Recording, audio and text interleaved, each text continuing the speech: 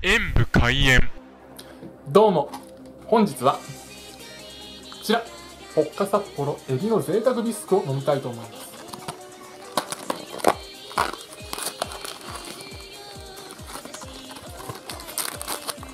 ビスクは前に作ったこともあるのですがやっぱり違うのかなこういうのと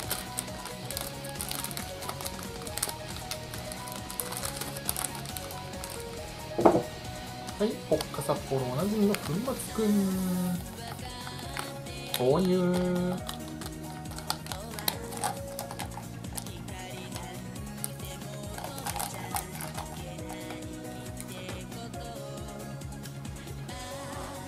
エビの香りがちょっと伝わってきます。いやちょっとじゃないか。ではいつものようにお湯投入。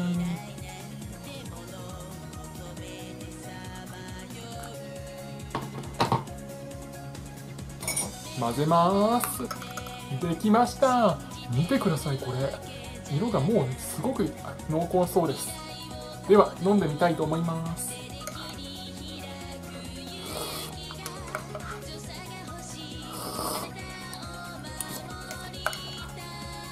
うまみが本当に濃厚ですね。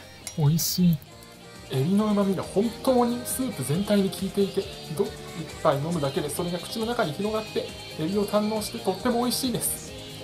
ご視聴ありがとうございました。コメントしていただけると嬉しいです。作るのもいいけどこういうのもいいね。パソコンおよびスマートフォンのアプリの方はクリックをお願いします。